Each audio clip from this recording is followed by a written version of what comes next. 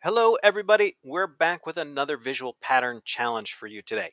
Here's our visual pattern. Here's step one, here's step two, here's step three.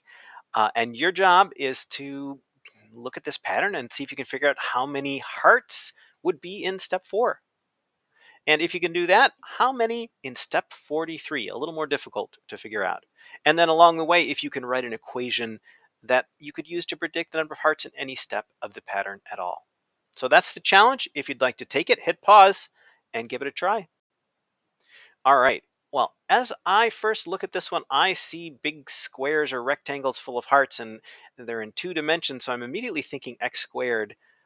But then I have a second thought. It doesn't seem to be getting bigger very fast. So maybe maybe it's not a quadratic pattern. Maybe it's just a linear pattern. And I think we'll have to look at the numbers here to figure this out. But um, let's let's just see if we can visually understand the pattern so that we can predict step four first. So in this first one, I've got, well, I've got a four by four square of hearts with one missing, basically. So there are, there are 15 there, right? Because that'd be 16 minus one.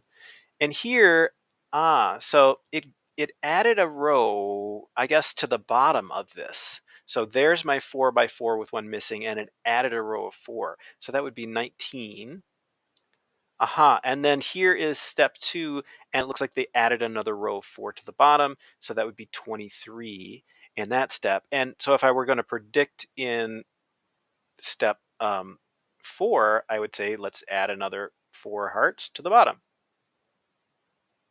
Okay, and that would be 27 then for step four.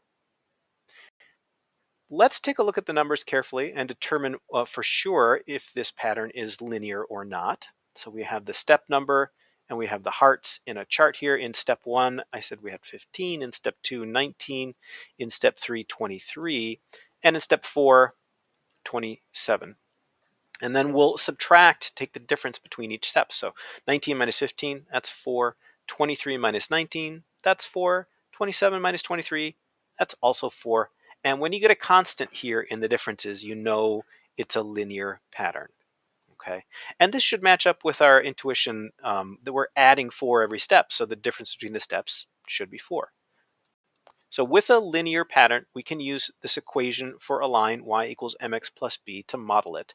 And the what's usually the slope, the m here, is going to be our change from step to step. So that's 4x, y equals 4x. The plus b we're going to use to make it work with the numbers we actually have here. This So far what we've modeled is just the rate of growth, but we haven't modeled how many hearts there were to start with. So let's try it in step number one. So y equals 4, and I'll put in 1 for x, because that's what x represents the step number.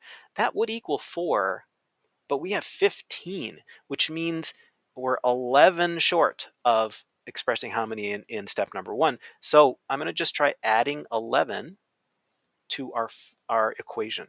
So now we've got y equals 4x plus 11. Let's try this with step number two. I know it works with step number one. So y equals 4 times step number two plus 11. Well, 4 times 2 would be 8 plus 11. Yeah, that equals 19. Let's try it with step number 3. So y equals 4 times 3 plus 11. 4 times 3 would be 12, plus 11 would be 23. Yes, that works for step 3. So I think that's our equation. y equals 4x plus 11.